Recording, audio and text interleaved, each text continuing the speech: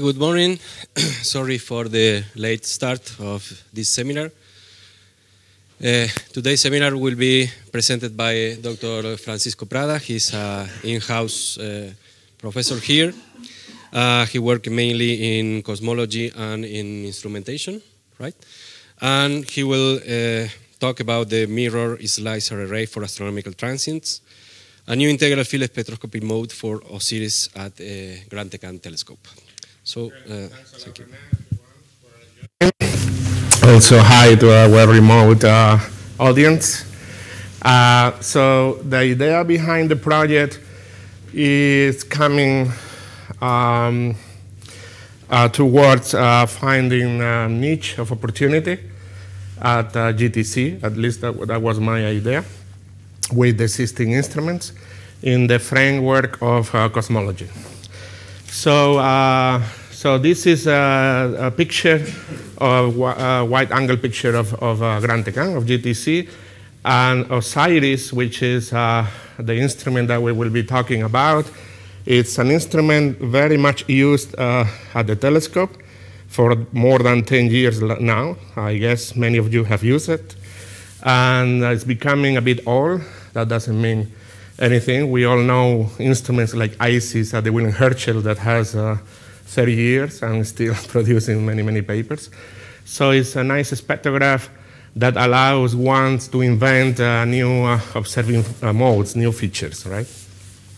So this is OSIRIS now, okay, which is uh, at the Nasmyth platform, which never was its um, original place. It was mounted there, uh, still there. Uh, by 2021, early 2021, will be moved to uh, the Cassegrain uh, focus. And also they will um, replace uh, the CCD. So that means that there are some uh, rejuvenation uh, of Osiris. but because you win throughput by the fact that you don't have M3 mirror anymore, right? That's 10% throughput just by moving from one focus to the other.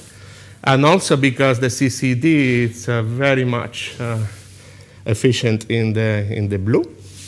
But the rejuvenation in our view is more towards the fact that having an integral field uh, unit or an integral field spectroscopy mode will make possible to lead uh, uh, uh an aspect of time domain astrophysics in, uh, in this decade. So, um,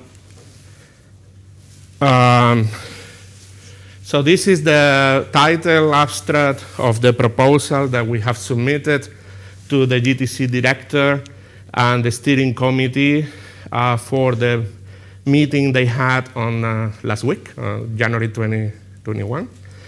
And actually, I'm going to submit uh, or send, is better term, this afternoon, um, copy of this report to the uh, user committee, which I, I think is going to meet on February 10 and 11, because I think it's very important to have their uh, opinion as well.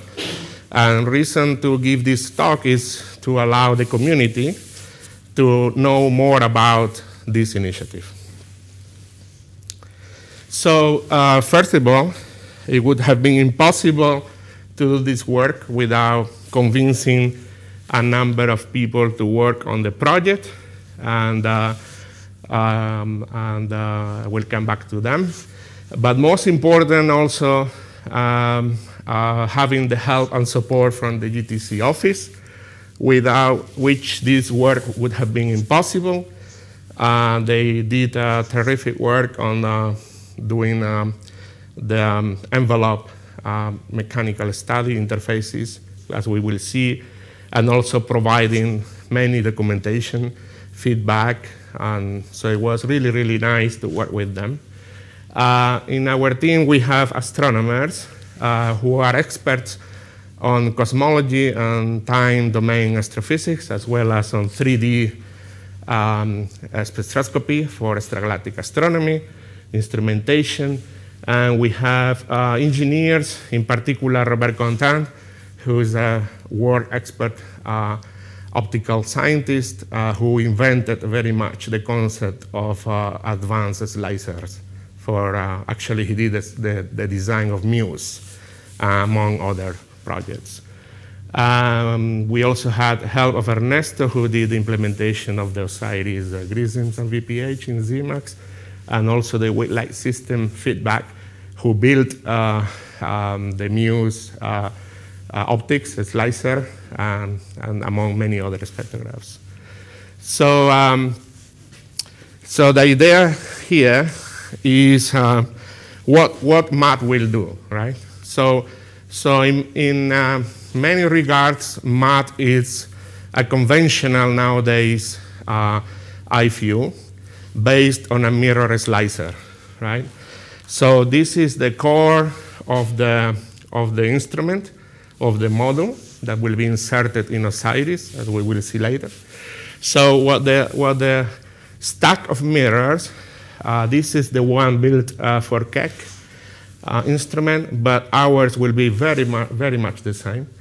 Uh, we will have 33 uh, slicers um, uh, tilted in the right way. each slicer will have um, width of 0.3 arc seconds on the sky, 0.8 millimeters. So that will split the light uh, on the sky and send it to different mirrors to form a pseudo slit. So in many ways, after the pseudo slit is formed, the light will go through Osiris, and Osiris will never know what, what, what the light is coming from. It will believe that it's coming from a standard long slit observation, as it's doing every night. So we will see later. So this is a composed uh, image and simulations by, my, by, by Enrique Perez here. Uh, this is a region, um, well, this is the very famous local galaxy NGC 300. And uh, if you focus on, uh, this is very nearby, so it can be very well resolved. And if you focus on some particular regions, you have a H2 region here. And this is images from HST, I presume. Uh, and this is a supernova remnant. So what he has done is uh, how the slicer, our slicer will see those particular regions, okay? And that's an image, composed image from the, from the slicer. So this is 10 arc seconds by 14 arc seconds, which is the field of view of, uh, of MAT uh, at the GTC, with a sampling of 0.3 arc seconds. So uh, uh for each, uh, you see the stripes, right? So each of, uh, each of these stripes is one of those slicers. So what you have is, an, you decompose the image on 33 stripes of uh, 0.3 by 14 arc seconds, basically, and take a spectra of it with Osiris. That's, that's the whole idea behind. So uh, these objects looks like this. So this is already, uh, this is simulated data uh, using a Muse. So uh, you take a Muse data cube from raw data, and then you do the proper convolutions, uh, topology changes and uh, to produce uh, a MAT data cube. It, we have to say that Osiris can see bluer than Muse. We will see that, and that's why it's very relevant. Although here we are limited by the Muse uh, limited money, uh, uh, small uh, blue um, wavelengths. So, so this is each of the slicers right? It's lice, sorry, the 33. So you see each of them, and they have been arranged according to a CCD pixel and the wavelengths, okay? So if we blew out uh, two regions of supernova, you can clearly see for each slice, this one, this particular one, whatever it is, you can see the H-alpha nitrogen and sulfur 2 lines, and this corresponds to the R1000 R uh, grism of Osiris. So, so it's a real simulation, end-to-end simulation. So this is basically what we want to do. Have the capability of performing integral field spectroscopy with Osiris at the GTC. having the capability of doing C-limited observations, um, broadband coverage, which is unique uh, for GTC, and as we will see for many other telescopes. Oops. Okay, let's see what's going on here. So the basic parameters uh, are here in the table. So, uh, um, so OSIRIS uh, uh, is the spectrograph, and MAT will be considered as a box, as a model that will be inserted in the mask uh, cartridge or jukebox. Uh, it will provide uh, integral field um, spectroscopy. Field of view is 14.2 by 10 seconds. Uh, the slit width is 0.303, which is basically the slice width of the mirrors. Uh, the spatial sampling is 0.303 by 0.127, which is the pixel size of OSIRIS on the CCD for 15 microns. You can bin if you want, and then get uh, 0.3 by 0.25 arc seconds. Uh, the wavelength range is the OSIRIS wavelength range from 360 to 1000 nanometers. Spectral resolution uh, is higher than OSIRIS, and that's a very important fact here, is that because uh, we have a narrower slit, which is 0.3 arc second, as compared to the typical standard 0.6 arc seconds or even 1 arc second that people use, we will enhance the resolution, the resolving power, by uh, 1.6 times uh, compared to the 0.6 arc second slit. And that's very, very powerful, as we will see later. So we will use the new detector, and, uh, and this is the footprint on the sky, as we saw before. There is a little vignetting here, only very little area, which is due to, uh, uh, uh, to the collimator structure, uh, which is very well present in the OSIRIS long slit and imaging modes. So uh, GTC in the era of time domain astrophysics, this is the, the science framework, okay? So to, to position ourselves, uh, so there will be many, many imaging surveys, as we all know.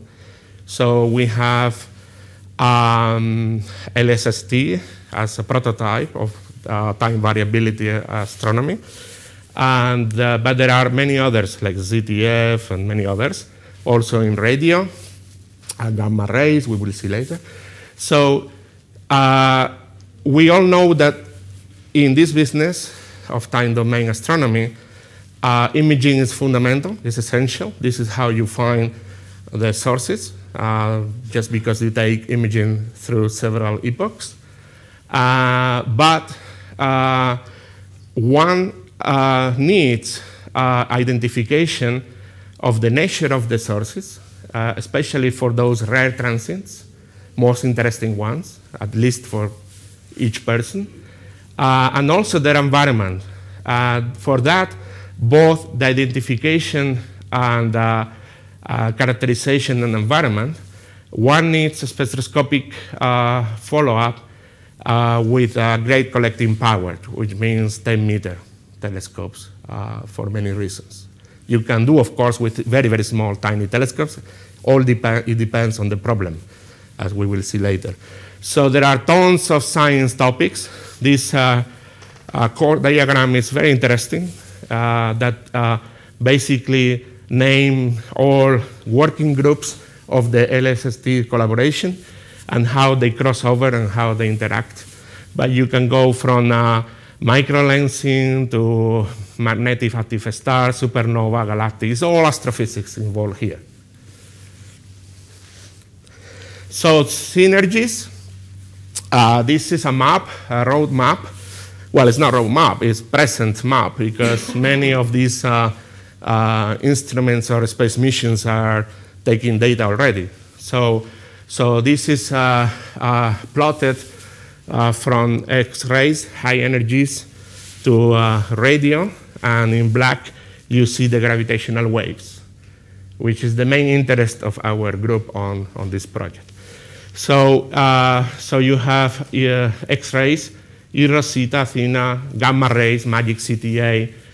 Uh, uh, so this is OSIRIS plus MAT. So we hope to, if approved, our proposal to go to the telescope by late 2021. And uh, we stop here because, well, we don't know if there will be a new instrument or not that will replace OSIRIS. LSST is starting very, very soon, end of 2021. It's really amazing how soon, so we will be right on time. And uh, there are other interesting, like GOTO at La Palma, that is an all sky imager, all the PFS, JPAS, DESI. So this is not only uh, synergies for uh, time variability astronomy. So it's very important to remark that uh, the, the MAT uh, uh, top level requirements um, uh, allow a broadening use for the GTC community. So uh, regardless uh, the specific interest of the proposers, of the group who's proposing this uh, mode, uh, we are very positive that the instrument could benefit uh, the entire community.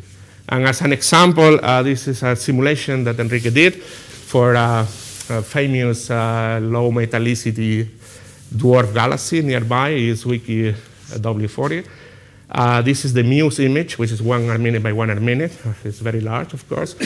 and with, uh, with uh, MAT, you get 10 seconds by 14, which is actually quite decent and allows you to study the nucleus in very much detail. Okay?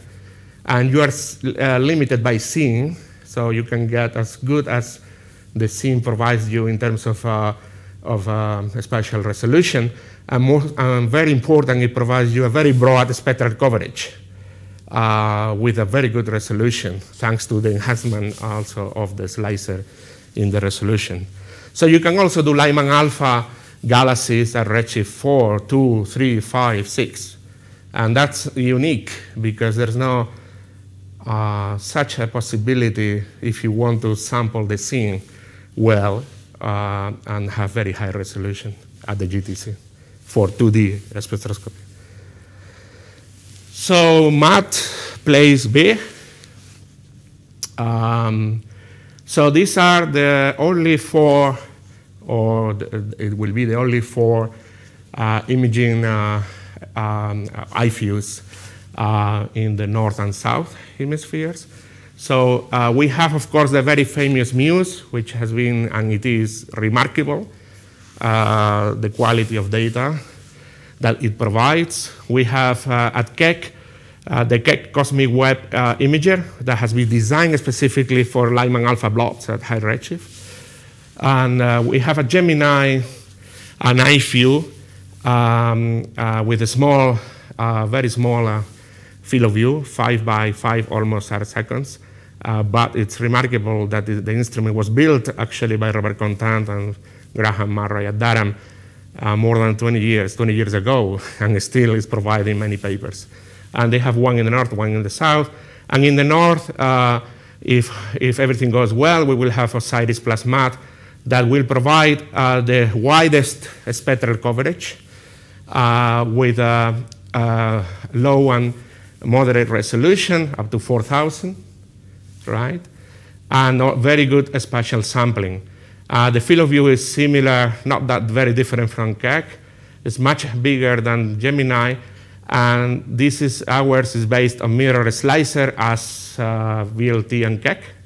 Uh, the, the Gemini uh, IFU is based on uh, uh, optical fibers. Okay. So uh, it is very important that the proposed IFU present uh, very unique opportunities to compete and play a major role uh, in the domain uh, of uh, transient astronomy, but also in, uh, for the whole community. So this is just at glance our interest on the project of the group that is proposing the, the project. Uh, I could develop each case, of course, in detail, uh, but let me here mention our interest and just a couple of figures to highlight the importance of this project. So it's true that uh, and it's true, as we saw from LSST uh, overview of the of time domain astronomy, that the potential of MAT, of MAT, science potential of MAT, is essentially unlimited. So you can do and cover all fields of astronomy. Uh, however, our team in particular, science team, uh, where we have um, uh, we had the help of uh, Enrique Perez here, Luca Izzo, who was a former postdoc, now he's Copenhagen in Dark, and Ariel Goobar, who is at Stockholm University. So we are focusing on a selected of outstanding science topics uh, that uh, are in our areas of expertise, namely uh, basically identification and characterization of electromagnetic wave, um, gravitational wave counterparts, time delay uh, measurements of uh, strong length supernova and quasars, and also exploration of the host environments of supernova to see um, uh, systematics on the Hubble constant uh, determination. And in fact, the purpose behind this program is to measure the Hubble constant uh, as precise as we can, and also understanding systematics and, and many other interesting uh, facts. Uh, here you can see uh, the MUSE uh, imaging of, of the only kilonova found so far. it covered the entire galaxy because the big field of view. We will cover a little fraction but still we will be able to get estimates of the and age of the host galaxy. That's, that's a very important thing that you cannot do uh, with the long slit, as well as we will be able to do uh, spectrophotometry, as we will see now, that you cannot do with long slit. So it's very important here also to address the question that this is the spectra taking, uh, taken uh, with X-Shooter, uh, for the kilonova. Uh, so that's the time evolution of the spectra. And here in red, this is how MUSE, uh, the spectral range covered by MUSE.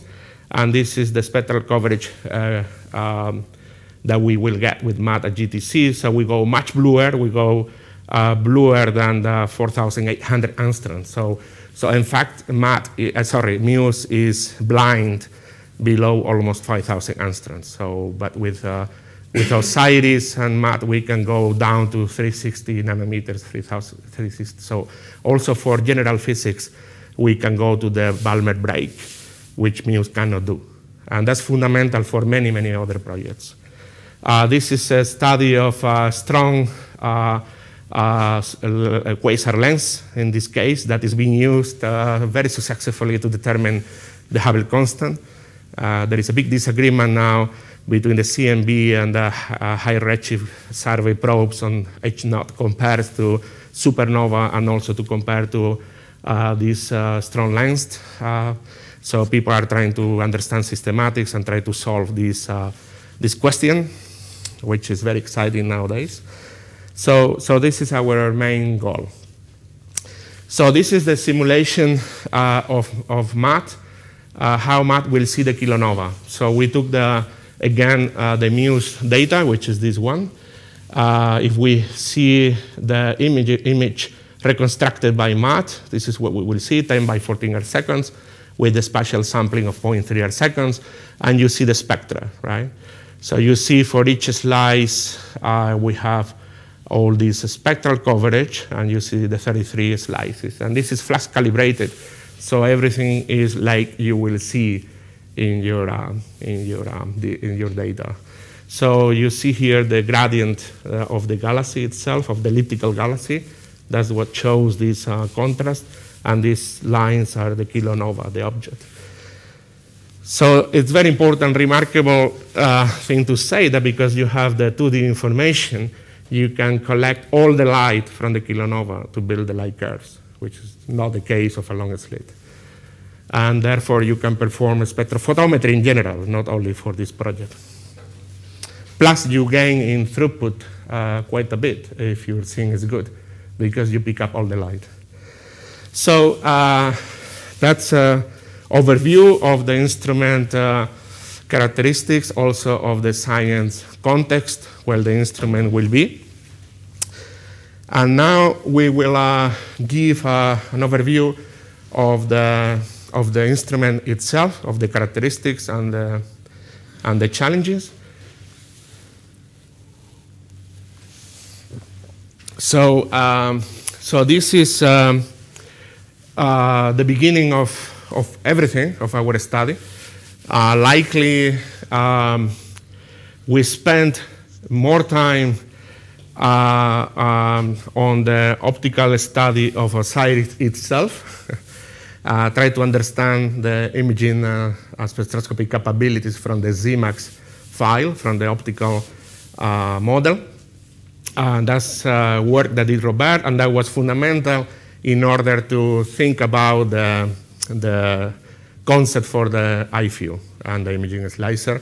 And also GTC spent a lot of time to understand the envelope of a mat, to make sure about the dimensions, to make sure that it will fit in Osiris, the, the interfaces. So, and between all of us, uh, we were working together uh, for the last, uh, uh since September, I would say. So uh, we had to implement, this was done by Ernesto Sanchez Blanco, the, all the uh, grisms and VPH of Osiris in Zemax. That was also part of the, of the study we had to do in order, before starting the, the concept of, this, of the slicer. We also, Robert in particular, spent a lot of time understanding uh, the, the, the uh, comparison between the Zemax model as provided in a file compared to the real spectrograph. As you can see, there is a well, very well-known vignetting uh, in, uh, due to the collimator uh, support. Uh, the GTC also helped us a lot to understand many, sorry, many different aspects of the correspondence between the mask uh, of a mask of Osiris, long slit mask, or multi-object mask, uh, compared to the CCD. So basically the correspondence between the focal plane of Osiris and the focal plane on the, on the CCD. Uh, so the, uh, Osiris is designed in such a way that the telescope doesn't, doesn't, coincide, uh, doesn't agree in the position with the optical axis of the instrument. So this is the optical axis of Osiris, this is the optical axis of the UTC. So a lot of work was done to understand this. Okay, here are the results, uh, general uh, results for the spectrograph, and then concrete proposal for the iFU. So regarding the basic parameters, we saw this table before. I want to highlight um, uh, basically three of them. Uh, the fact that uh, we will go to the Cassegrain, as I said, that has a direct impact, not only for MAT, for all the Osiris modes that will allow to gain 10% due to the fact that the M3 mirror that sends the light now to the Nasmyth will be removed. So the light goes straight from the primary to the secondary and then to the Cassegrain focus. So uh, the slit width, uh, the fact that, uh, that our slice uh, width uh, is uh, 0.3 arc seconds translates right away in a better spectral resolution. So this is a PSF done by a study is, uh, is a, a, preliminary study where he compares the, the MAT PSF with the Osiris 0.6 arc seconds slit. And if I recall well, well, the worst should be the slit, long slit. So, so yeah, so the slice is the green, so that's the MAT slice, and the Osiris long slit uh, is, is, the, is the red, okay? So you can see that it's much narrower, so which means that, uh, that uh, it projects on less number of, of pixels, so therefore the resolution is, uh, is higher by 60%. And the uh, blue is basically the Osiris aberrations due to the optics and all that. So, so we have, uh, just by argument, simple argument, the Fourier transform of a narrow slit always provides you a higher spectral resolution. Uh, but of course, you need to go into the system and see precisely how much you win. So, uh, and that translates into this table, okay? An important fact is that many of the simulations, most of it, and uh, magnitude limits, uh, magnitude limits, and etc. We did it for the R1000B and R1000R because are the, the, the reasons that are more interesting to us for the uh, science cases that would before. But you can use MAT with all the collection of reasons and VPH. Okay. So, uh, and this is the resolution. Uh, and in brackets, you see the resolution for the long slit, uh, for 0.6 arc second long slit. And there is a big increase. So for example, if you want high resolving power, what used to be uh, 2500 now is 4000. Okay? And that's really, really cute because you can do a very nice intermediate resolution studies with a C limited, which is not possible uh, uh in, uh, in uh, GTC now in uh, two dimensions. Okay, so and then the CCD. Uh, I think you can guess which one is which. So, so the red is the new E2V, and the blue is the current Marconi, which is very low, has very low efficiency in the blue but not only that, it's not monolithic 4K by 4K. It has a gap in the middle, as you saw uh, previously. So that will be removed. So, but it's very important to see that uh, the increase is a factor of two at uh, 4,000 angstroms. So uh, when you get all these, and also our design for the slicer, you will see later the concept, you take everything into account, you can do this exercise, uh, estimate. This is the efficiency, total throughput, assuming uh, the telescope, the atmosphere, and the instrument.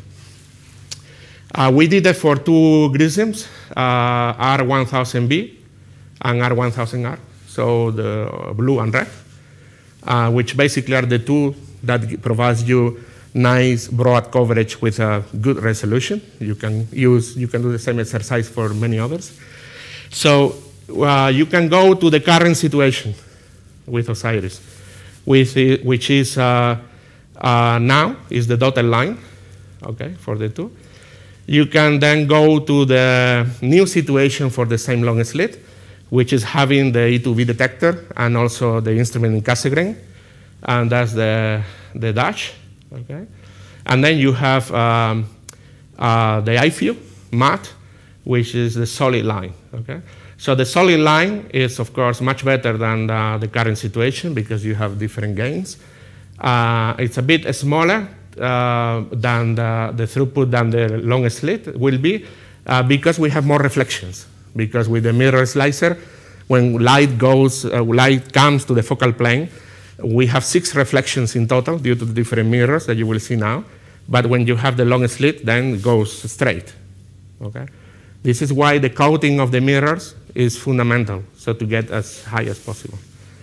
But still, still we can say, and I think it's fair to say, uh, because this, this has been built before, there are uh, these Keck instrument mu, so we are going to build something that has been built before by the same company that this is a fair estimation.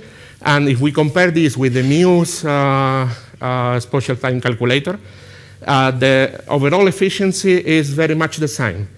Uh, because uh, uh, there is a compensation due to the different aperture in the telescopes and that, that compensates with the lower throughput of OSIRIS. So Muse spectrograph is more efficient, but we have a 10.4 meter as compared to an 8 meter.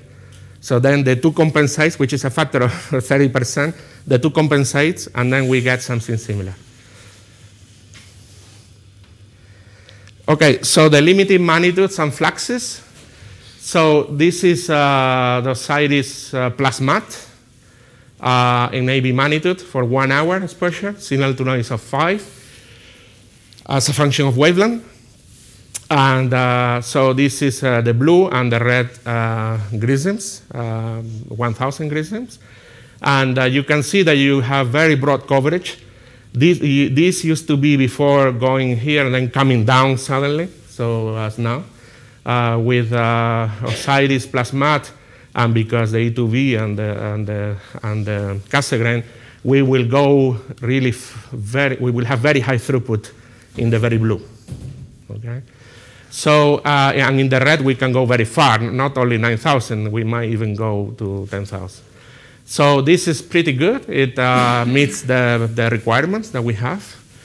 And then uh, something very significant to say is uh, uh, uh, just this, this plot that shows the clear advantage of having a, an IFUC as compared to a long slit. So this is basically the fluxes inside the slit uh, for a star, for a point source. You have a Gaussian or a Moffat PSF. So you observe with a slit of a given size, and then you compute the flux inside. And that's as a function of the ratio between the width of the slit and the seeing. So for example, if you have a seeing of 0.8 arc seconds, which is typical at uh, GTC, it means that you are losing 20% of the light with the long slit. 20% uh, that you don't lose with the IFU. You get all. And this is not included in the signal to noise estimates, okay? So that means that this signal to noise estimate will be enhanced by, by that if you sum up all the signals. But also something very important that if you go to bad seeing conditions, then you start to recover a lot of the light. Yeah? Uh, but that's not uh, all the only uh, nice aspect about having MAT on, on the GTC is also that you can do absolute spectrophotometry because you have all the light of the source. And, and that's really, really fundamental. So finally, uh, limiting fluxes. Uh, this is uh, an estimate that we did based on the Muse VLT calculator.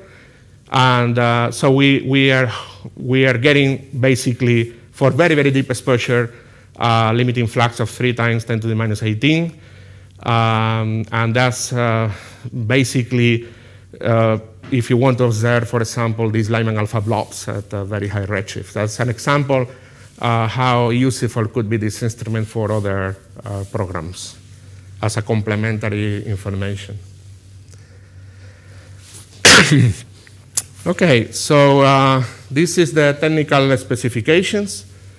Uh, this is the work uh, um, that was done uh, by GTC mostly regarding the mechanical and interfaces, and also combined with the work done with Robert for the um, optical envelope as well. So, so in the table you have optical parameters and, and um, mechanical parameters which defines the optomechanics envelope of the, of the instrument.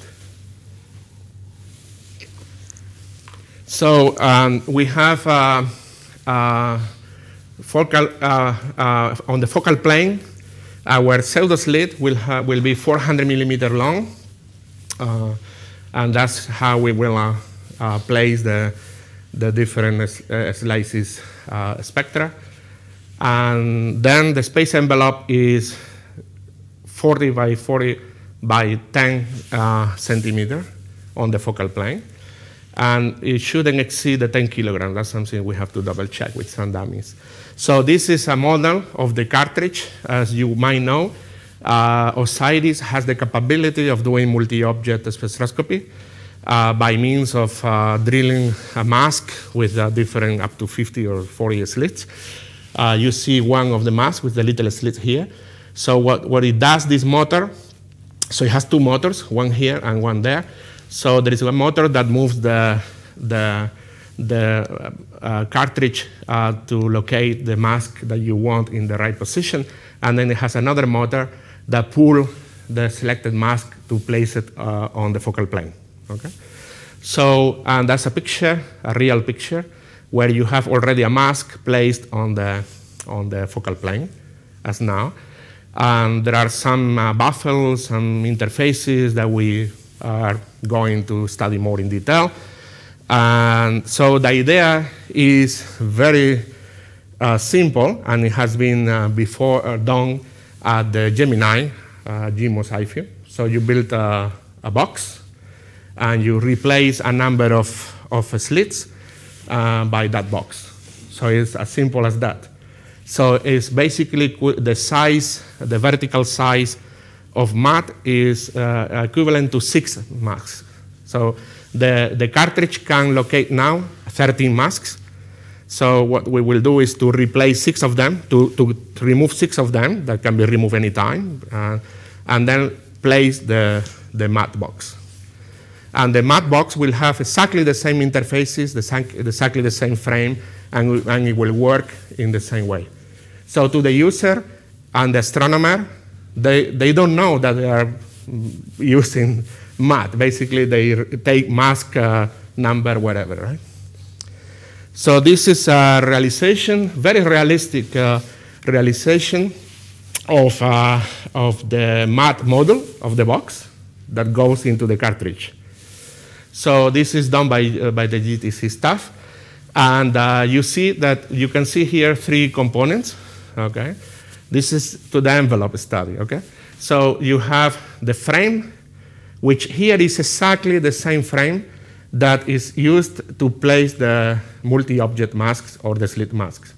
Instead of being empty, as here, uh, for a real slit uh, mask of Osiris or MOSS, you will have here the, the mask.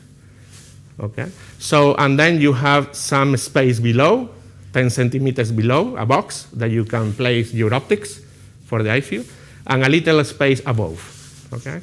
So the light is coming from the telescope here. So you have a little hole there with a mirror that will pick up the light uh, and will send it to the relevant optics, to the slicer. And below, you will have slit like a long slit of 400 millimeter to allow the light to go to the spectrograph. Okay. The specific details will be developed later. So uh, here you see, uh, it's hard to see with these colors, but this is a 2D drawing of the box uh, that we took into account for the developing the concept of the, of the slicer, of the, of the optical system. So we had to take into account all the dimensions uh, very much in detail to make sure that all the optical elements will fit into the box. Okay? So that's very nice work uh, they did at GTC, as well as to make sure all interfaces are correct and all that. Not only that, uh, they had the initiative to do um, to print in 3D some pieces that will represent the, uh, the box. Uh, so they took a frame, uh, a real, a real uh, that's a model, but that's the real one.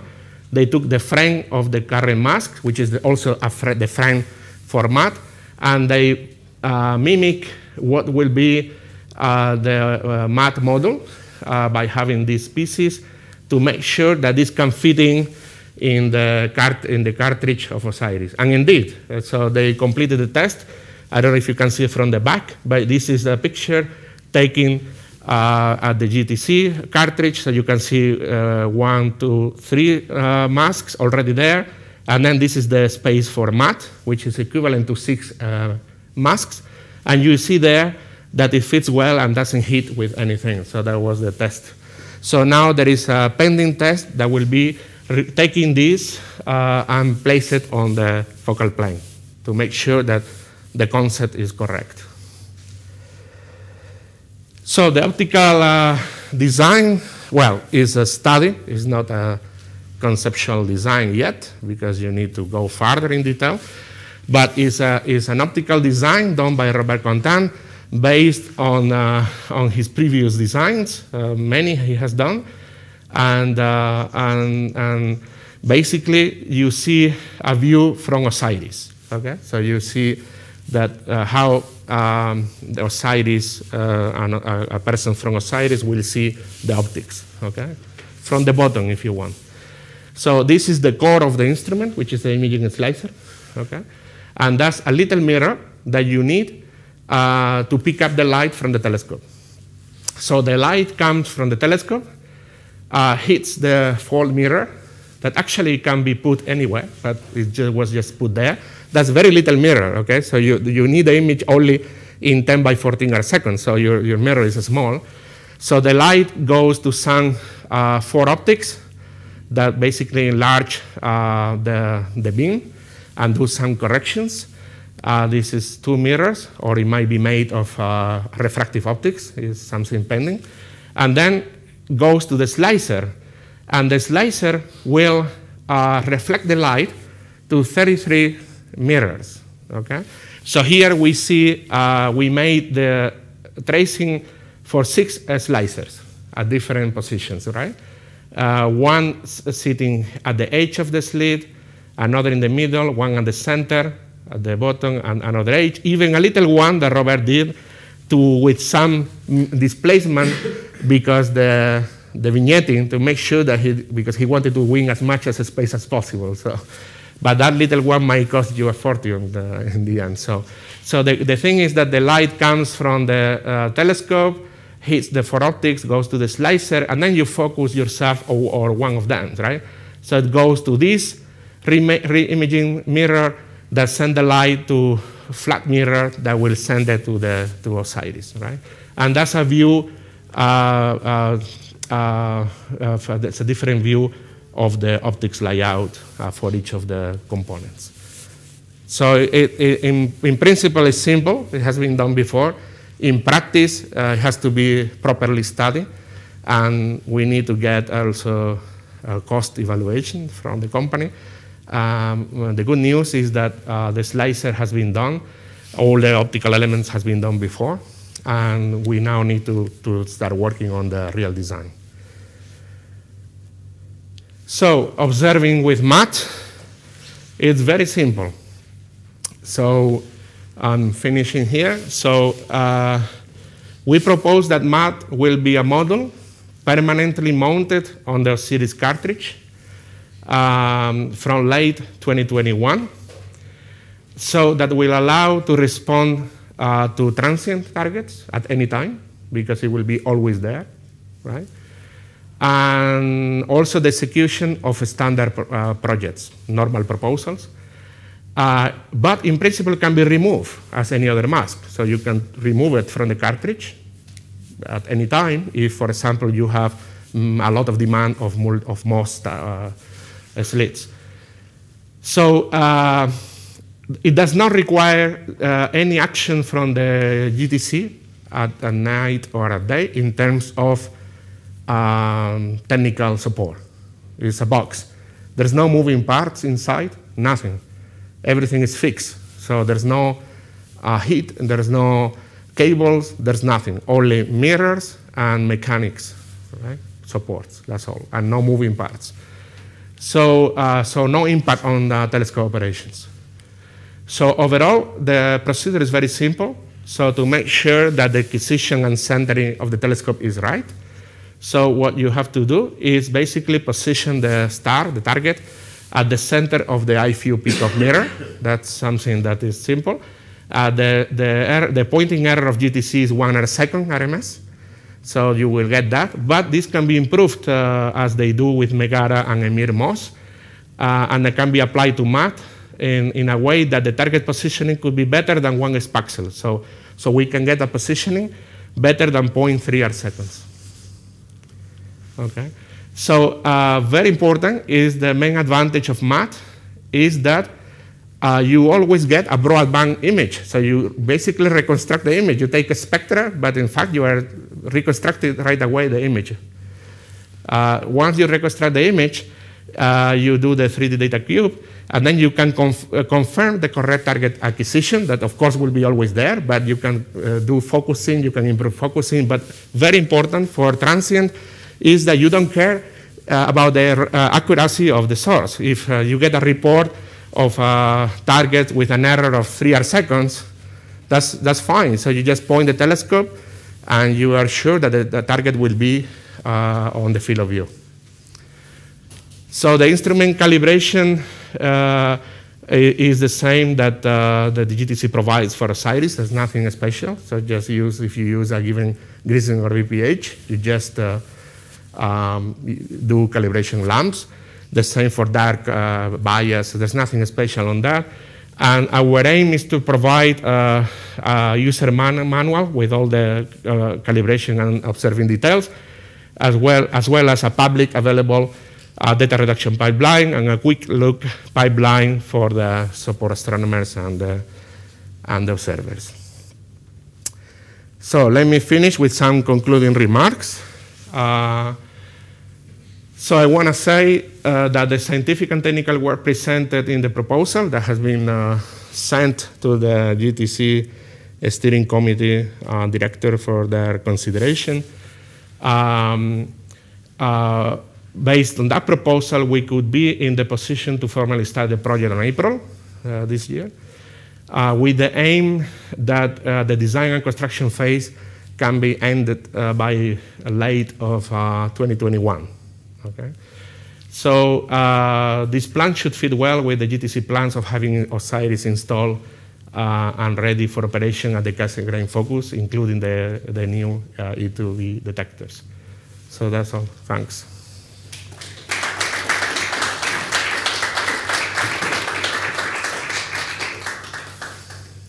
Thank you, Paco, for this uh, seminar. And it's open for questions.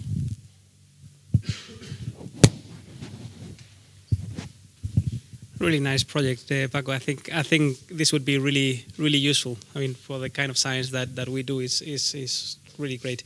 I was wondering about the the budget and funding uh, plan that you have for, for the instrument, because if it's such a, a, a short schedule, I guess that you have all that more or less settled already. Cost of the whole project, as a rough estimate, because we don't have detailed estimates until we don't complete the design, as you know. Including everything, hardware and manpower is 1 million euro. Everything together. And beyond that, I, I, I cannot say more because I don't know. Uh, but uh, where, where is that funding coming from? From donors. From donors. Okay, so that's not yet. Understand. Okay. So that, that's part of our, uh, our aim is to pick up uh, any interested uh, um, uh, partner institutions uh, uh, to support the, the project.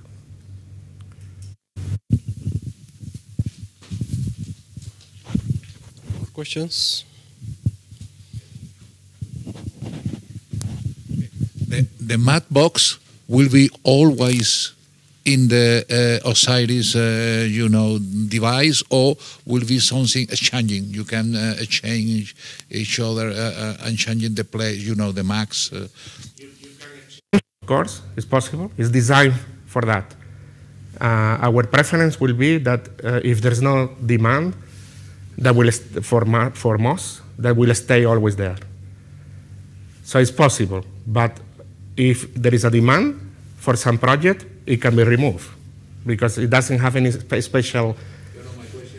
Need some kind of uh, special recalibration or something like that when you move one or the other. No? Mm. Is is the same as you move uh, one long slit and put other. Or everything is fixed there. You can you have to do calibrations as you do for any other mode in Osiris, but nothing.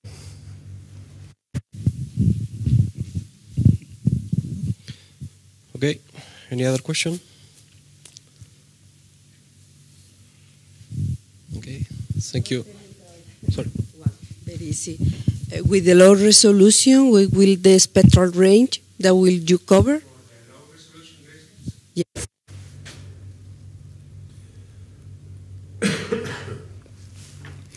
It's, it's the same than Osiris. It's, nothing is different. It's only so you have the this 300B and R so with a resolution of 500, so in the, with the blue you go from 3,600 3, to 7,200, and then 4,800 to 10,000 with, res, with resolution 500, which is already very good because it's increased.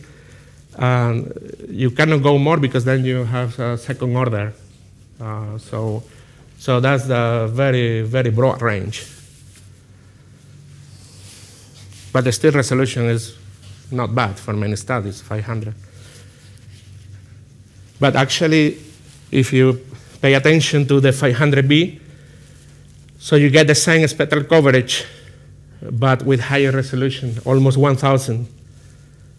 Or even this one is much better. So the, the 1000B, for example, is 360, 3630 to uh, 7500 with resolution of 1500. So this is very close to the SDSS resolution, the 1000B, uh, from uh, very UV to beyond, uh, beyond uh, uh, H alpha. And that's resolution 1500.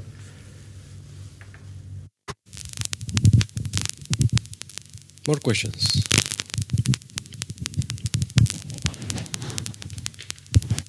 Let, let me get again to the to the uh, project management. Uh, what would be the the the division of the schedule that you foresee for the project? Yes. Uh, 20 months total, Yes. So what part of it would be design and what part would be manufacturing? six months to go to final design. So you, you actually start the project before having the funding secured. Uh, Well, there's very little time for getting that funding secured. that's the point. So we need to